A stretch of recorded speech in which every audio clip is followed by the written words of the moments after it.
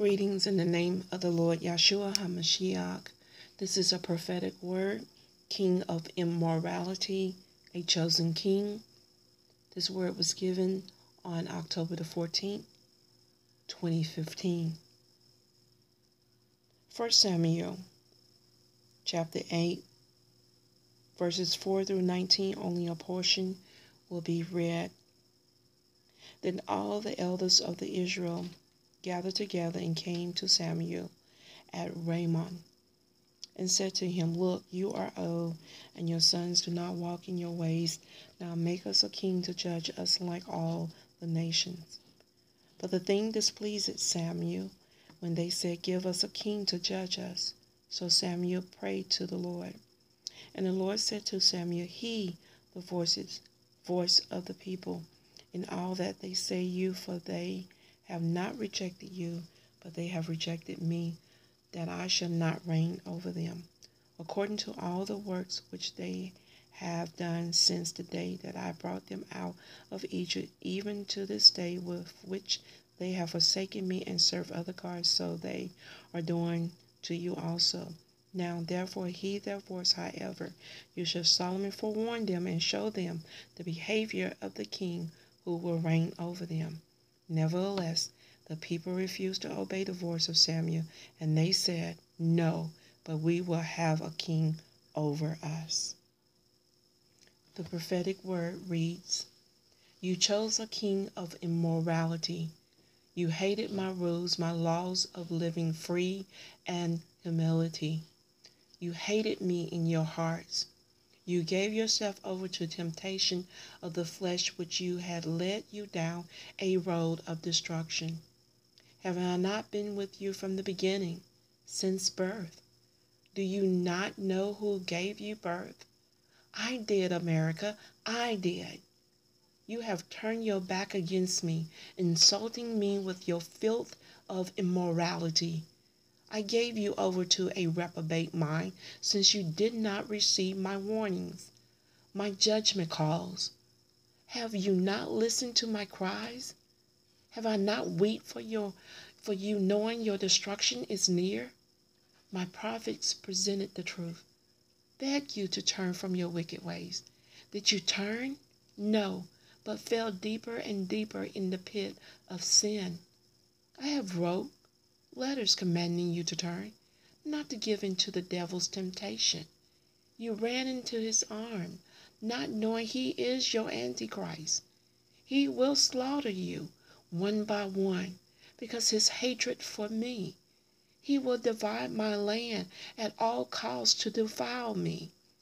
Whoever defile my land, I will defile their land. Your righteousness are dirty rags. I will split America in the middle. No longer will it be called the land of the free, but the land of abomination. You are the land of Babylon, who has risen from the dead, and I have blessed you well of many things. Now you are cursed with a curse. Repentance would have been the way out but now you have tested me, and my judgment is sent in waves. I will bring forth my true church, full of fire and holiness. I have said before, what is not rooted in me will not remain. You seek another from the world, and he will destroy you and your children. You have asked for my judgment you foolish people. You know not what you do. You didn't repent, and you drank the cup of judgment. Soon I will split America from the top on down. You serve me not. I know you not, you nation of abomination. I am that I am. No other has that power but me. During my prayer time, I heard a storm in the Gulf is brewing. A shaking in the earth of America is coming. Beware.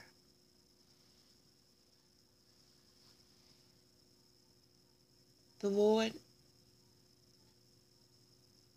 is standing in the doorway, offering salvation to whoever who seeks his face, whoever wants to be free from the chains and the bondage of this world. He has nailed everything on the cross so that you may be free in Him. He has taken everything on His shoulders so that we may enter into His rest forever. For the word said, Whoever believe in Him shall not perish, but have everlasting life. If you believe this, only thing you have to do is confess with your mouth that Jesus is Lord and that the Father raised him from the dead and that he is sitting at the right hand of the Father right now as I speak. And you shall be saved if you believe this. Just call upon his name and he shall answer you. He is a merciful Father, a merciful Adonai. He is our Prince of Peace. Shalom.